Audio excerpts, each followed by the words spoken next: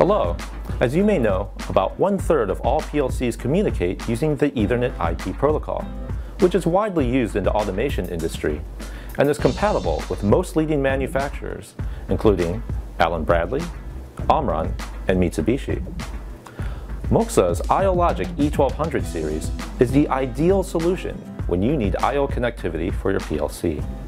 It takes just three steps to connect your ioLogik E1200 series device to an Allen-Bradley PLC.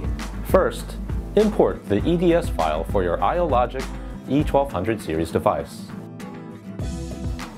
Next, add your ioLogik E1200 series device as a new module.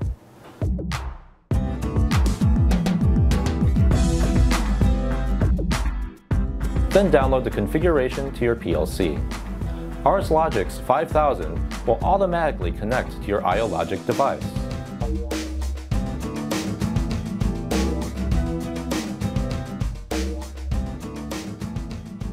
Finally, test your connection by changing the DO value for your device in RSLogix 5000.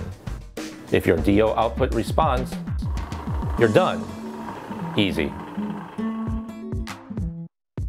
In addition to Ethernet IP, Moxa's ioLogik E1200 series supports six different protocols, including Modbus, RESTful API, and SNMP, to support the needs of both OT and IT experts.